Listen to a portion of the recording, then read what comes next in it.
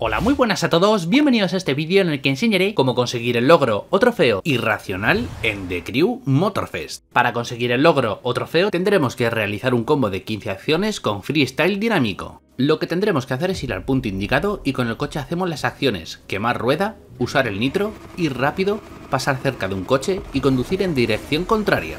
Después cambiamos al avión para hacer el resto de acciones como por ejemplo usar el nitro, volar bajo, pasar por debajo de un puente, hacer giros de todo tipo, subir recto, caer en picado o ir boca abajo.